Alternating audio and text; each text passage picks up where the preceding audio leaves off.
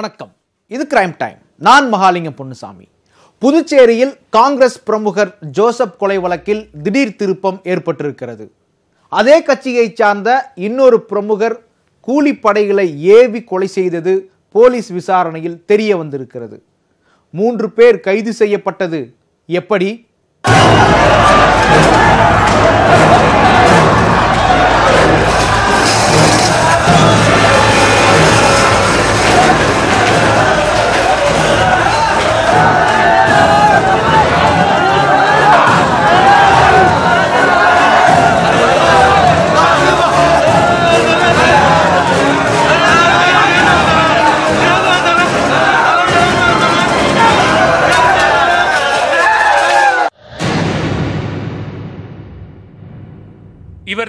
படுகொலை செய்யப்பட்ட காங்கிரஸ் பிரமுகர் ஜோசப்.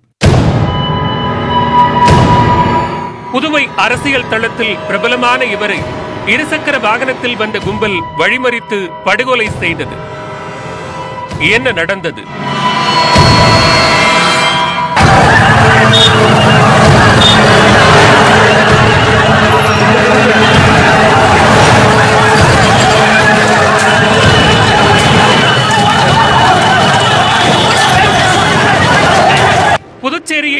காலாப்பட்டை சேர்ந்த ஜோசப் வடக்கு மாவட்ட காங்கிரஸ் கட்சி தலைவராக செயல்பட்டு வந்தார்.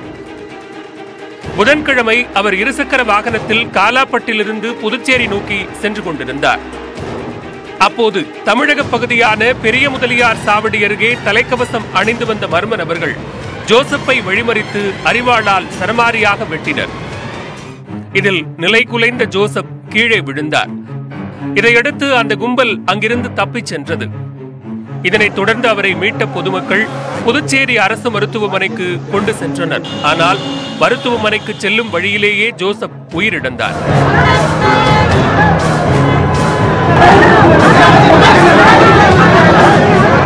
சம்பவத்தை அறிந்த புதுச்சேரி முதலமைச்சர் நாராயணசாமி மருத்துவமனைக்கு சென்று ஜோசப்பின் குடும்பத்தினருக்கு ஆறுதல் கூறினார். ஐயோ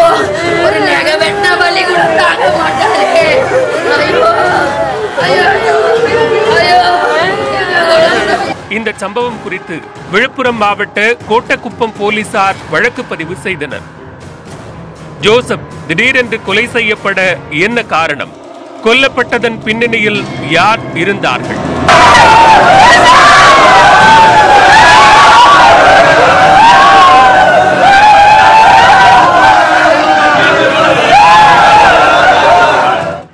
மாதங்களுக்கு முன்பு காலாப்பட்டில் செயல்படும் தனியார் ரசாயன தொழிற்சாலை விரிவாக்கம் விவகாரம் தொடர்பாக ஜோசப் ஆதரவாளர்களுக்கும் மற்றொரு காங்கிரஸ் பிரமுகரான சந்திரசேகர் ஆதரவாளர்களுக்கும் இடையே மோதல் ஏற்பட்டு அது கலவரமாக மாறியது.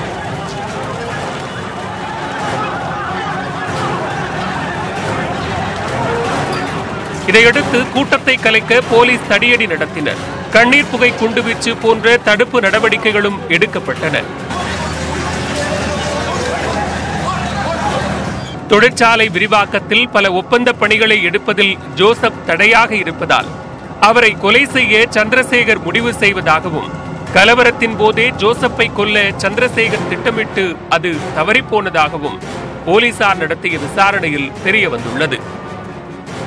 ஜோசப்பை கொலை செய்ய காலாப்பட்டு விடுதி உரிமையாளர் பார்த்திபன் மூலமாக கூலிப்படையை ஏவ சந்திரசேகர் முடிவு செய்ததாகவும் போலீசார் விசாரணையில் அம்பலமாகி இதையடுத்து முன்னரே திட்டமிட்டபடி வந்த கூலிப்படையினர் நேற்று தனித்து வந்த ஜோசப்பை வெட்டி கொன்றதாக போலீசார் தெரிவித்தனர். இந்த சம்பவம் தொடர்பாக விடுதி உரிமையாளர் பார்த்திபன் குமரேசன் ஆனந்தன் ஆகிய மூன்று பேரை போலீசார் கைது செய்தனர். பார்த்திபனிடம் விசாரணை மேற்கொண்டதன் அடிப்படையில் இந்த வழக்கின் முதல் குற்றவாளியாக காங்கிரஸ் பிரமுகர் சந்திரசேகர் சேர்க்கப்பட்டுள்ளார். என்ஆர் காங்கிரஸ் பிரமுகர் செல்வகுமார் விடுதி உரிமையாளர் பார்த்திபன் உள்ளிட்ட ஏழு பேர் மீது போலீசார் வழக்கு பதிவு செய்துள்ளனர். ரவி என்பவர் வந்து அந்த கம்பெனியை வந்து விஸ்தரிப்பு பண்ணணும் அப்படின்றது ஆதரவாக இருக்கார். சந்திரசேகர் குரூப் வந்து அதற்கு எதிர்ப்பாக இருக்குது ஸோ இந்த முன்விரோதம் தான் மெயினாக அடிப்படை காரணம். இது இல்லாமல் அந்த மருந்து கம்பெனிக்கு வந்து இந்த சந்திரசேகரோட லாரி அதாவது தண்ணி வந்து அனுப்புகிறாங்க ஸோ அதில் வந்து நாளடைவில் வந்து அந்த தண்ணி லாரியையும் நிறுத்தி விடுகிறார்கள். ஸோ இது வந்து ரவி தான் இதுக்கு காரணம் அப்படின்னு அவர் நினச்சிக்கிட்டு இருக்காரு. அது ஒரு மின் மின் விரோதம் இருக்குது அதே மாதிரி இதில் இன்னொரு குற்றவாளியான பார்த்திபன் இருக்கார். அவரோட அவர் வந்து இந்த விஸ்தரிப்புக்கு வந்து எதிரான குழுவில் இருக்கார்.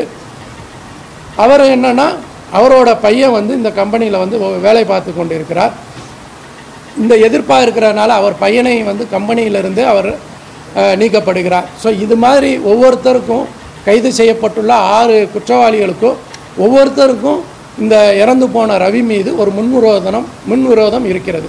ஸோ இதற்காக இவர்கள் ஒன்று கூடி இன்றைக்கு ஒரு கூலிப்படையினரை வைத்து முப்பதாம் தேதி வந்து நண்பகல் வந்து அவங்க வந்து இந்த மாதிரி அவரை கொலை செய்யும் நோக்கத்துடன் வெட்டியிருக்கிறார்கள். போலீசார் தொடர்ந்து விசாரணை மேற்கொண்டு வரும் நிலையில் கொலை நிகழ்வு குறித்து பல்வேறு தகவல்கள் கிடைக்கும் என்று எதிர்பார்க்கப்படுகிறது.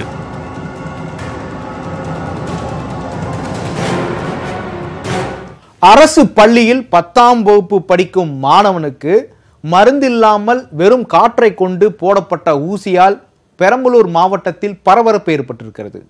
அந்த மாணவனை கொலை செய்யும் நோக்கத்தில் ஊசி போடப்பட்டதா? அல்லது சோதனை செய்யும் அடிப்படையில் ஊசி போடப்பட்டதா?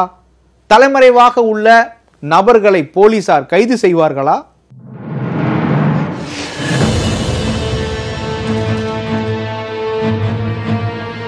இவர்தான் காற்றின் மூலம் ஊசி போட்டு பாதிக்கப்பட்டுள்ள மாணவர் சந்துரு. என்ன நடந்தது சந்துருவிற்கு? யார் இந்த கொலை முயற்சியில் ஈடுபட்டது?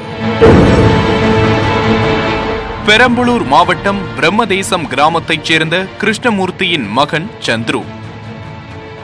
தண்ணீர் பந்தல் பகுதியில் உள்ள ரோவர் உயர்நிலைப் பள்ளியில் பத்தாம் வகுப்பு படித்து வருகிறார். இந்த நிலையில் புதன்கிழமை மாலை பள்ளி முடிந்து வீட்டிற்கு சென்றபோது அருகில் உள்ள கட்டுமான பணி பாதியில் நிறுத்தப்பட்டிருந்த கட்டிடத்திற்கு சிறுநீர் கழிக்க சென்றிருக்கிறார். அப்போது அங்கு வந்த மர்ம நபர் ஒருவர் சந்துருவிடம் உன் கையில் ஏற்பட்டுள்ள தோல் பிரச்சனைக்கு அதற்காக உனது அப்பா ஊசி போட சொன்னார் என்று கூறியிருக்கிறார். பின்னர் தனியே அழைத்துச் சென்று ஊசி போட முயன்றுள்ளார். அதற்கு என் அப்பாவிடம் கேட்டுக்கொண்டு பிறகு போட்டுக்கொள்கிறேன் என்று சந்துரு கூறியிருக்கிறார். இதனையடுத்து தனது செல்போனிலிருந்து யாரோ ஒருவருக்கு போன் செய்து கொடுத்து உன் அப்பா கிருஷ்ணமூர்த்தி பேசுகிறார் என்று கூறி போனை சந்துருவிடம் கொடுத்திருக்கிறார். எதிர்முனையில் பேசியவர் தனது தந்தைதான் என நினைத்து ஊசி போட்டுக்கொள்ள சம்மதித்திருக்கிறார். இதனையடுத்து சந்துருவை அருகே உள்ள கட்டுமான பணிகள் முடியாமல் பாதியில் உள்ள கட்டிடத்திற்கு அழைத்துச் சென்ற மர்ம நபர் ஊசியில் மருந்து ஏற்றாமல் வெறும் காற்றை மட்டும் நிரப்பி ஊசி போட்டுவிட்டு சில நொடிகளில் தப்பிச் சென்றிருக்கிறார். இதனையடுத்து பேருந்தில் ஏறிய சந்திரவிற்கு சிறிது நேரத்திலேயே மயக்கம் வந்துள்ளது. தள்ளாடியபடியே வீட்டிற்கு வந்த அவரிடம் வீட்டில் உள்ளவர்கள் என்னவென்று விசாரித்த போது அப்பா சொன்னதன் பெயரில் ஒருவர் மருந்தில்லாமல் வெறும் ஊசி போட்டதாக தெரிவித்திருக்கிறார். அப்படி யாரையும் ஊசி போடுமாறு சொல்லவில்லை என்று சந்துருவின் தந்தை கிருஷ்ணமூர்த்தி கூறியதை அடுத்து அவர் உடனடியாக மருத்துவமனையில் அனுமதிக்கப்பட்டார். பக்கத்தில் பில்டிங் இருந்துச்சு அந்த பில்டிங்கு பாத்ரூம் போனால் நான் போகும்போது அந்த ஆள் இல்லை. எங்கேருந்து வந்தாருன்னு தெரில அங்கேருந்து நான் போயிட்டு வந்ததுக்கப்புறம் உன் பேர் தான் போய் சந்துரு உங்கள் அப்பா பேர் கிருஷ்ணமூர்த்தியாமே உன் கையில் இந்த மாதிரி இன்ஃபெக்ஷன் மாதிரி இருக்காமே அப்படின்னு சொல்லி எங்கள் அப்பா சொன்னார் அப்படின்னு சொன்னாங்க. அப்பயும் எங்கள் அப்பா மெட்ரஸில் இருக்காருன்னு சொன்னேன். அவங்க அப்பா இருந்தாப்போ உங்கள் அப்பா ஃபோன் பண்ணி தரேன் பேசுனாங்க அவங்க பேசினா எங்கள் எங்கள் அப்பா எங்கள் அப்பா உடம்பு தான் இருந்துச்சு ஆனால் இருந்தாலும் கொஞ்சம் குறை கேட்டுச்சு. குறை கேட்கவும் நான் அப்பயும் சொ- குறைன்னு கேட்டுச்சு. அதுக்கப்புறம் அப்படியே இந்த ஊசி போட்டுக்கப்பான்னு எங்கள் அப்பா சொன்னார். அந்த சொன்ன மாதிரி இருந்துச்சு. எங்கள் அப்பா தான் சரி எங்கள் அப்பா அடுத்த நாள் ஹாஸ்பிட்டல் போகலான்னாரு சரி எங்கள் அப்பா தான் தெரிஞ்சவராக இருப்பார்னு என்ன நான் அந்த ஆளை பார்த்ததும் இன்ன வரைக்கும் நான் அவரை பார்த்ததே இல்லை. ஒரே ஒரு ஆள் தான் வந்தார். வெள்ளை கலர் சட்டை ப்ளூ கலர் ஃபேண்ட் போட்டிருந்தாரு. அப்புறம் ஊசி ஊசி போட்டு ஆனால் ஊசி ஊசி போடுறப்ப கையில் தடனாரு என்னன்னே தெரியல. தடனோன்னே எனக்கு கொஞ்சம் நிதானமே இல்லை. மயக்க வர மாதிரி ஆயிடுச்சு. தனது கணவர் போல பேசி தன்னுடைய மகனுக்கு ஊசி போட்டவர்கள் மீது உரிய நடவடிக்கை எடுக்க வேண்டுமென்று சந்துருவின் தாய் புஷ்பா வலியுறுத்தியிருக்கிறார். தள்ளாடி தள்ளாடி நடந்து வந்தோம் ஏன் கண்ணு சாப்பிடலையா கண்ணு? இப்படி வர? அப்படின்னு சொன்னேங்க சார். அம்மா அப்பா தான் சொன்னார் இன்ஜெக்ஷன் போட சொல்லி. அதை போட்டதுலேருந்து எனக்கு இப்படி தலையை சுற்றுதுன்னு சொன்னாங்க சார். என்ன கண்ணு சொல்கிற அப்பா தான் மெட்ராஸ் போயிட்டாரு. நீ மட்டும் எப்படி கண்ணு ஒருத்தவங்க சொன்னான்னு ஊசி போட்டேன்னு சொன்னதும் அப்பா என்கிட்ட ஃபோனில் பேசினாருமான்னு சொன்னாங்க சார். திரும்ப உடனே எங்கள் வீட்டுக்காரருக்கு ஃபோன் பண்ணேன் சார். ஃபோன் பண்ணி என்னம்மா அந்த மாதிரி ஃபோன் பண்ணி சொல்லியிருக்கு இன்ஜெக்ஷன் போட சொல்லி யார் போடாமல் போட சொல்லாமல் அந்த மாதிரின்னு சொன்னதுக்கு ஐயோ செவனே நானே பிள்ளைக்கு ஊசி போட சொல்லி எனக்கு ஒருத்தரும் ஃபோனும் பண்ணலையே. யார் சொன்னால் உடனே ஆஸ்பத்திரிக்கு போகணும்னு சொல்லிட்டாங்க சார் நான் உடனே ஜிஹெச் வாலிண்டர் வந்துட்டேங்க சார் அங்கே சரவணன் சாரை பார்த்தேங்க சார் அவர் வந்துட்டு எந்த பாதிப்பும் தெரியலம்மா. ஆனால் தலை சுற்றுதுங்கிறீங்க எதுக்கும் நைட்டு ஒரு நைட் மட்டும் பெரிய ஆஸ்பத்திரிக்கு போயிடுங்க. அங்கே டாக்டர் எந்த நேரமும் இருப்பாங்க? இருபத்தி நாலு மணி நேரமும். அங்கே பார்த்துவாங்க நீங்கள் பார்த்துட்டு காலையில் வந்துடலாமான்னு சொன்னாங்க சார் நாங்கள் அங்கே வந்து அட்மிஷன் பண்ணிட்டோங்க சார் இங்கே வந்தோடனே நல்லா ட்ரீட்மெண்ட் பண்ணாங்க நல்லா இருக்குங்க சார். இந்த சம்பவம் குறித்து சந்துரு படித்து வரும் ரோவர் உயர்நிலைப் பள்ளிக்கு சென்றபோது அவர்கள் இது தொடர்பாக பதிலளிக்க மறுத்துவிட்டனர் இந்த விவகாரம் குறித்து பெரம்பலூர் நகர போலீசார் வழக்கு பதிவு செய்து விசாரணை மேற்கொண்டு வருகின்றனர்.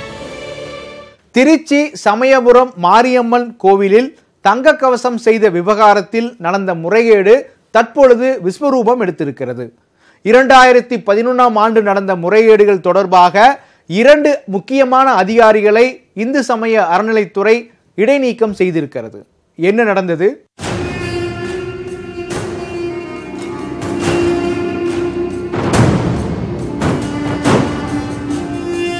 தமிழகத்தின் முக்கிய பக்தி ஸ்தலங்களில் திருச்சி சமயபுரம் மாரியம்மன் கோவிலுக்கு முக்கிய இடம் உண்டு. தமிழகம் மட்டுமல்லாது சிங்கப்பூர் மலேசியா ஸ்ரீலங்கா என உலகத்தின் அனைத்து பகுதிகளிலுமிருந்து பக்தர்கள் இந்த கோவிலுக்கு வந்து செல்கிறார்கள். பழனி மலைக்கு அடுத்தபடியாக அதிக எண்ணிக்கையில் பக்தர்களை கொண்ட இந்த கோவிலில் நடந்த முறைகேடு தற்போது வெளிச்சத்திற்கு வந்துள்ளது. கடந்த இரண்டாயிரத்து பதினோராம் ஆண்டு திருச்சி சமயபுரம் மாரியம்மன் கோவிலில் சிலைக்கு தங்க கவசம் செய்தல் விமானம் மற்றும் கதவுக்கு தங்கமுலாம் பூசுதல் உள்ளிட்ட பணிகள் நடைபெற்றன. சுமார் இருபத்தி ஐந்து கோடி ரூபாய் செலவில் நடத்தப்பட்ட திருப்பணிகளில் கையாடல் நடந்ததாகவும் குற்றச்சாட்டுகள் முன்வைக்கப்பட்டுள்ளது. விதிகளை மீறி ஒப்பந்தங்கள் வழங்கியது ஒதுக்கப்பட்ட பணிகள் முறையாக செய்யப்படாதது போன்ற குளறுபடிகள் நடந்ததாக புகார் எழுந்தது. ஸ்ரீரங்கம் கோவிலின் உதவி ஆணையராக இருந்த ரத்தினவேல் முறைகேடு நடந்ததாக சொல்லப்பட்ட காலகட்டத்தில் சமயபுரம் மாரியம்மன் கோவிலின் உள்துறை கண்காணிப்பாளராக இருந்துள்ளார். கடந்த முப்பத்தி ஓராம் தேதி பனிமூப்பு அடைய வேண்டிய ரத்தினவேலை ஒரு மாதத்திற்கு முன்பு அதாவது முப்பதாம் தேதியன்று பணியிடை நீக்கம் செய்து அறநிலையத்துறை நடவடிக்கை எடுத்துள்ளது. பந்தநல்லூர் சிலை திருட்டு வழக்கில் கைது செய்யப்பட்ட அறநிலையத்துறை இணை ஆணையர் இளம்வழுதியும் இந்த முறைகேட்டில் சம்பந்தப்பட்டுள்ளதாக புகார் எழுந்துள்ளது. ஏற்கனவே பணியிடை நீக்கம் செய்யப்பட்ட இளம்பழுதிக்கு விளக்கம் கேட்டு நோட்டீஸ் அனுப்பப்பட்டுள்ளதாக கூறப்படுகிறது. ஒப்பந்த பணிகளை முறையாக கவனிக்காமல் முறைகேடுகள் நடக்க இரண்டு அதிகாரிகளும் காரணமாக இருந்தார்கள் என்ற குற்றச்சாட்டு முன்வைக்கப்பட்டுள்ளது. இந்த குற்றச்சாட்டுகள் குறித்து விசாரணை நடத்த சிறப்பு குழு அமைக்கப்பட்டுள்ளதாகவும் விரைவில் விசாரணை தொடங்கும் எனவும் அறநிலையத்துறை கூறியுள்ளது. பல்வேறு எதிர்ப்புகளுக்கு மத்தியில் தடகளத்தில் சாதித்த பெண் திருமணத்திற்கு பிறகு மர்மமான முறையில் உயிரிழந்திருக்கிறார். கடலூரில் நடந்த இந்த சம்பவம் குறித்து இப்போது பார்க்கலாம்.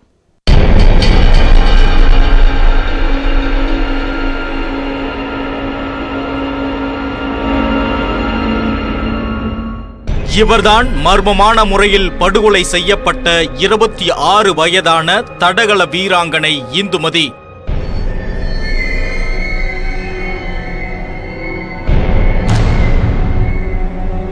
காதல் கணவரோடு வாழ்ந்து வந்த இந்துமதி தற்போது இல்லை. என்ன நடந்தது அவர்களின் வாழ்க்கையில்? கடலூர் மாவட்டம் பன்ருட்டி அருகே உள்ள மேல்கவரப்பட்டு கிராமத்தைச் சேர்ந்த தடகள வீராங்கனையும் பட்டாதாரி பெண்ணுமான இந்துமதி நெல்லிக்குப்பத்தைச் சேர்ந்த வீரகுமார் என்பவரை கடந்த நான்கு ஆண்டுகளுக்கு முன்பு காதலித்து திருமணம் செய்து கொண்டார். இவர்களுக்கு நிதிஷ்ராவ் என்ற மகனும் திசித்ராவ் என்ற நான்கு மாத பெண் குழந்தையும் உள்ளனர். பணி நிமித்தம் காரணமாக வீரகுமார் தற்போது கடலூர் ஆலப்பேட்டை கன்னிகோவில் தெருவில் வாடகை வீட்டில் குடும்பத்துடன் வசித்து வருகிறார். இந்த நிலையில் சொந்தமாக தொழில் செய்வதற்கு இந்துமதியிடம் மூன்று லட்சம் ரூபாய் பணம் கேட்டு வீரகுமார் துன்புறுத்தி வந்ததாக கூறப்படுகிறது. செவ்வாய்க்கிழமை இரவு இது தொடர்பாக கணவன் மனைவிக்கிடையே தகராறு ஏற்பட்டதாக கூறப்படுகிறது. இதற்கிடையே வீரகுமாரின் தம்பி அனுசாந்த் மேல்கவரப்பட்டு கிராமத்துக்கு சென்று இந்துமதியின் தாய் ஜெயபாரதியிடம் உங்கள் மகளுக்கு உடல்நலக்குறைவு ஏற்பட்டுள்ளதாக கூறி பைக்கில் வீரகுமாரின் வீட்டுக்கு அழைத்து வந்துள்ளார். அப்போது கழுத்தில் மாலை அணிவித்து இந்துமதி படுக்கையில் பிணமாக கிடந்ததை பார்த்து செய்வதறியாது ஜெயபாரதி கதறி அழுது துடித்தார். அப்போது இந்துமதி தூக்கு போட்டு தற்கொலை செய்து கொண்டதாக வீரகுமாரின் உறவினர்கள் தெரிவித்தனர். ஆனால் இந்துமதியின் சாவில் ஜெயபாரதிக்கு சந்தேகம் ஏற்பட்டது. இது குறித்து நெல்லிக்குப்பம் காவல் நிலையத்தில் புகார் அளித்தார். அதன் பேரில் நெல்லிக்குப்பம் போலீசார் அங்கு சென்று இந்துமதியின் உடலை கைப்பற்றி பிரேத பரிசோதனைக்காக கடலூர் அரசு மருத்துவமனைக்கு அனுப்பி வைத்தனர்.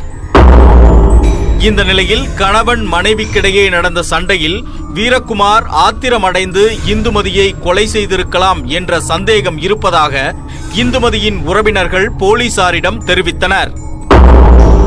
இந்துமதியின் தாயார் ஜெயபாரதி கொடுத்த புகாரின் பேரில் கடலூர் புதுநகர் போலீசார் வழக்கு பதிவு செய்தனர்.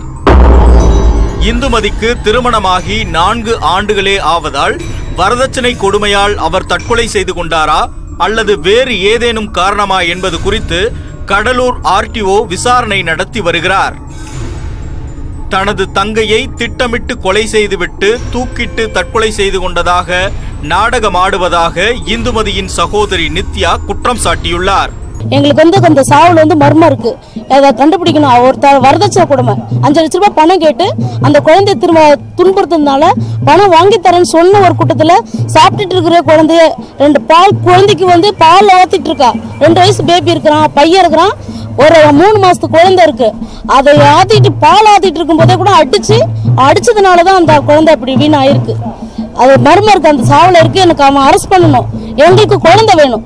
தடகள வீராங்கனையான இந்துமதி தற்கொலை செய்து கொள்ளும் அளவுக்கு கோழை அல்ல என்று குற்றம் சாட்டிய அவரது உறவினர்கள் இது கொலை என்று உறுதிபட கூறினர்.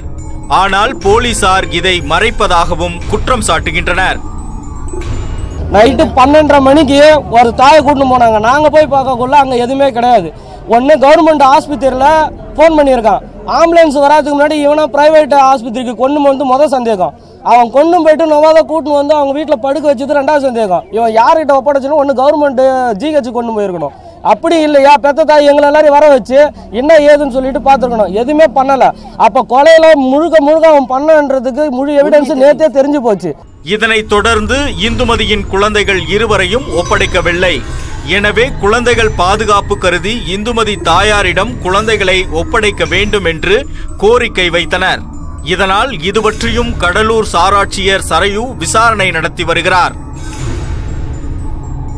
சென்னையில் உள்ள அண்ணா பல்கலைக்கழகம் உலகம் முழுவதும் பிரசித்தி பெற்றது தரமான ஒரு கல்வி நிலையம் என பெயர் பெற்றது. ஆனால் கடந்த பத்து ஆண்டுகளாக அந்த பல்கலைக்கழகத்தின் கீழ் செயல்படும் பல்வேறு கல்லூரிகளில் தேர்வு முறையீடு நடந்திருப்பது தற்பொழுது வெளிச்சத்திற்கு வந்திருக்கிறது. குறிப்பாக எந்தெந்த அதிகாரிகள் இந்த முறையீட்டில் சிக்கியிருக்கிறார்கள் விசாரணையின் கோணம் என்ன இது குறித்து இப்போது விரிவாக பார்க்கலாம். சர்வதேச அளவில் புகழ்பெற்ற அண்ணா பல்கலைக்கழகத்தின் மாணவர்கள் உலகம் முழுவதிலும் உள்ள பிரபல நிறுவனங்களில் பணியாற்றி வருகின்றனர். அண்ணா பல்கலைக்கழகத்தின் கீழ் ஒவ்வொரு ஆண்டும் சுமார் ஒரு லட்சத்து ஐம்பதாயிரம் மாணவர்கள் பொறியியல் படித்துவிட்டு பட்டம் பெறுகின்றனர். தரமான பல்கலைக்கழகம் என அறியப்பட்ட இந்த கல்வி நிறுவனத்தின் நற்பெயருக்கு தற்போது களங்கம் ஏற்பட்டுள்ளது. விடைத்தாள் மறுமதிப்பீட்டில் நடந்த முறைகேடு விசாரணையில் பல பகீர் தகவல்கள் வெளியாகியுள்ளன. எப்படி நடந்தது முறைகேடு? அண்ணா பல்கலைக்கழகத்தின் கீழ் இயங்கி வரும் ஐநூற்று முப்பத்தி ஐந்து பொறியியல் கல்லூரிகளில் சுமார் எட்டு லட்சம் மாணவர்கள் படித்து வருகின்றனர். எந்த பட்டமாக இருந்தாலும் எந்த செமஸ்டராக இருந்தாலும் தேர்வு முடிவுக்கு பிறகு மறுமதிப்பீட்டிற்கு மாணவர்கள் விண்ணப்பிக்கலாம். அப்படி இரண்டாயிரத்து பனிரெண்டாம் ஆண்டு டிசம்பர் முதல் இரண்டாயிரத்து பதினாறாம் ஆண்டு மே மாதம் வரையிலான நான்காண்டு காலத்தில் நடந்த மறுமதிப்பீட்டில் பெரும் ஊழல் நடந்துள்ளது அம்பலமாகியுள்ளது. இந்த காலகட்டத்தில் தேர்வெழுதிய பதினாறு லட்சம் மாணவர்களில் பத்து லட்சம் பேர் மறுமதிப்பீடு கோரி விண்ணப்பித்துள்ளனர். மறுமதிப்பீட்டிற்கு விண்ணப்பம் செய்த மாணவர்களிடம் நூற்று முப்பத்தி மூன்று கோடி ரூபாய் கட்டணமாக அண்ணா பல்கலைக்கழகம் வசூலித்துள்ளது. இரண்டாயிரத்து பதினோராம் ஆண்டிலிருந்து ஆண்டுக்காண்டு மறுமதிப்பீட்டிற்கு விண்ணப்பிக்கும் மாணவர்களின் எண்ணிக்கை பல மடங்கு உயர்ந்துள்ளது. சந்தேகமடைந்த லஞ்ச ஒழிப்புத்துறை அதிகாரிகள் நடத்திய விசாரணையில் விண்ணப்பம் செய்த மாணவர்களில் பலருக்கு மறுமதிப்பீட்டில் முறைகேடாக அதிக மதிப்பெண் வழங்கப்பட்டது தெரியவந்துள்ளது. முறைகேடு நடந்த காலகட்டத்தில் தேர்வு கட்டுப்பாட்டு அதிகாரியாக இருந்த உமாவின் உத்தரவின் பேரில் உதவி பேராசிரியர்கள் தேர்வர்கள் உதவியுடன் இந்த முறைகேடு நடந்தது அம்பலமாகியுள்ளது. இரண்டு விதமான முறைகேடு நடந்துள்ளது. ஒன்று தேர்வில் தோல்வியடைந்த மாணவர்களை தேர்ச்சியடையச் செய்தது. இரண்டாவது குறைந்த மதிப்பெண் பெற்று தேறியவர்களுக்கு அதிக மதிப்பெண்களை அள்ளிக் கொடுத்தது. சம்பந்தப்பட்ட கல்லூரி மாணவர் மறுமதிப்பீட்டிற்கு விண்ணப்பிக்க வேண்டுமென்றால் துறை தலைவர் அல்லது பாடம் எடுக்கும் பேராசிரியரின் கையொப்பம் பெற வேண்டும். எனவே இதில் சம்பந்தப்பட்ட கல்லூரிகளின் பேராசிரியர்கள் விரிவுரையாளர்கள் இடைத்தரகர்களாக செயல்பட்டிருக்கிறார்கள் என்கிறது காவல்துறை. தமிழகம் முழுவதுமிருந்து மறுமதிப்பீட்டிற்கு விண்ணப்பிக்கும் மாணவர்களில் பத்தாயிரம் ரூபாய் லஞ்சம் கொடுத்த மாணவர்களின் பட்டியல் தனியாக தயாரிக்கப்பட்டதும் தெரிய வந்துள்ளது. குற்றச்சாட்டில் சிக்கியுள்ள அண்ணா பல்கலைக்கழகத்தின் முன்னாள் தேர்வு கட்டுப்பாட்டுத்துறை அதிகாரி உமாவின் அலுவலகம் வீடுகளில் நடந்த சோதனையில் பல முக்கிய ஆவணங்கள் சிக்கியுள்ளன. வெறும் இருபத்தி நான்கு மதிப்பெண்கள் கிடைத்த விடைத்தாளுக்கு தொன்னூற்று நான்கு மதிப்பெண்கள் அளிக்கப்பட்டது அதிகாரப்பூர்வமாக உறுதி செய்யப்பட்டுள்ளது. ஏற்கனவே தேர்வில் தேர்ச்சியடைந்த மாணவர்களில் சிலர் இருபதாயிரம் ரூபாய் லஞ்சம் கொடுத்து அதிக மதிப்பெண் பெற்றதும் கண்டுபிடிக்கப்பட்டுள்ளது. இதில் அதிர்ச்சி என்னவென்றால் அண்ணா பல்கலைக்கழகம் நடத்திய விசாரணையிலேயே இந்த முறைகேடு அம்பலமானது. ஆனால் யார் மீதும் நடவடிக்கை எடுக்கவில்லை. முறைகேடாக அதிக மதிப்பெண் வழங்கிய பேராசிரியர்களிடம் நடத்தப்பட்ட விசாரணையில் உமாவும் அவரது குழுவும் சொன்னதன் அடிப்படையில்தான் அதிக மதிப்பெண் வழங்கியதாக கூறியுள்ளனர். அண்ணா பல்கலைக்கழகம் நடத்திய விசாரணை அறிக்கையை அடுத்த கட்ட விசாரணைக்காக லஞ்ச ஒழிப்புத்துறைக்கு தர மறுக்கிறது என்ற குற்றச்சாட்டும் எழுந்துள்ளது. இன்னொரு அதிர்ச்சி என்னவென்றால் சில இடங்களில் மட்டுமல்ல தமிழகம் முழுவதும் மறுமதிப்பீடு முறைகேடு நடந்துள்ளதாக விசாரணையில் தெரிய வந்துள்ளது. இந்த தேர்வு முறைகேட்டிற்கு தேர்வு கட்டுப்பாட்டு அதிகாரி மட்டும் காரணமா என்று கேள்வி எழுந்துள்ளது. இன்று ஒரு தேர்வில் ஊழல் நடந்திருக்கிறது என்ற செய்திகளை பார்க்கும்போது நான் மிகவும் அதிர்ச்சி அடைந்தேன் இதை பார்க்கும் பொழுது இன்றைக்கு சூழ்நிலையில் மாணவர்களுக்கும் மக்களுக்கும் பல்கலைக்கழகத்தின் மீது இருக்கிற நம்பிக்கையை இழந்து விடுவார்கள். அண்ணா பல்கலைக்கழகத்தில் துணைவேந்தர் பணியிடம் காலியாக இருந்த இரண்டு ஆண்டு காலத்தில் அதிகளவில் முறைகேடுகள் நடைபெற்றது அம்பலமாகியுள்ளது. இதனைத் தொடர்ந்து விடைத்தாள் திருத்துவதில் உரிய தகுதி இல்லாத ஆயிரத்து நூறு விரிவுரையாளர்களுக்கு விடைத்தாள் திருத்த அண்ணா பல்கலைக்கழகம் தடை விதித்தது. மறுமதிப்பீட்டு முறைகேட்டை முற்றிலுமாக தடுக்க இந்த நடவடிக்கை போதாது என்றும் உயர்மட்ட அளவில் முறைகேட்டில் ஈடுபடுபவர்கள் மீது நடவடிக்கை எடுக்க வேண்டும் என்று முன்னாள் துணைவேந்தர்கள் வலியுறுத்தியுள்ளனர். வேல்யூவேஷன் தப்பாக பண்ணிட்டு பணத்தை வாங்கிட்டு பண்ணியிருக்காங்கன்னு சொன்னாங்களே அதில் எனக்கு என்ன தோணுது அப்படின்னு கேட்டாக்கா இப்போ வந்திருக்க துணைவேந்தருக்கு இது தெரியாது. ஆனால் இதுக்கு முதல்ல இந்த துணைவேந்தருக்கு இது தெரியும். தெரியாமல் நடக்காது. அப்படி அப்படி தெரியாமல் நடந்திருக்கு அப்படின்னா அவர் துணைவேந்தர் கிடையாது. அந்த மாதிரி ஒரு சூழ்நிலையில் அந்த துணைவேந்தர் என்ன பண்ணார் அப்படிங்கிறது தான் என்னோட கேள்வி. மறுமதிப்பீட்டில் அதிக மதிப்பெண் வழங்குவதாக கூறி மாணவர்களிடம் ஒவ்வொரு செமஸ்டரிலும் நாற்பது கோடி ரூபாய் வரை லஞ்சமாக பெறப்பட்டுள்ளதாக கூறப்படுகிறது. பேராசிரியர் நியமனத்தில் லஞ்சம் பெற்றதாக முன்னாள் துணைவேந்தர் ராஜாராம் மீது லஞ்ச ஒழிப்புத்துறை விசாரணை நடத்தி வரும் நிலையில் அவரது பதவி காலத்தில் தேர்வு கட்டுப்பாட்டு அதிகாரியாக இருந்த உமா மீது தற்போது வழக்கு பதிவு செய்யப்பட்டுள்ளது. மிக பெருமளவில் நடைபெறும் இந்த முறைகேட்டை தடுக்க உடனடி நடவடிக்கை எடுக்க வேண்டியது அவசியமாகிறது. இந்த செய்தி மட்டுமின்றி இன்னும் பல்வேறு முக்கிய குற்ற செய்திகளின் உண்மையான பின்னணியோடு உங்களை மீண்டும் சந்திக்கிறேன். அதுவரை விடைபெறுவது மகாலிங்கம் பொன்னுசாமி.